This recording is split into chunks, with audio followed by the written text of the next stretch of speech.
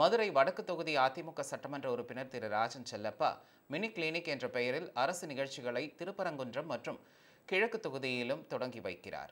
ஆனால் திமுக எம்எல்ஏக்கள் மற்றும் எம்பிக்கள் மற்றும் திமுக பிரதிநிதிகள் என யாரையும் அழைக்காமல் அவர் தன்னிச்சையாக செயல்பட்டு வருவதாக புகார் எழுந்துள்ளது.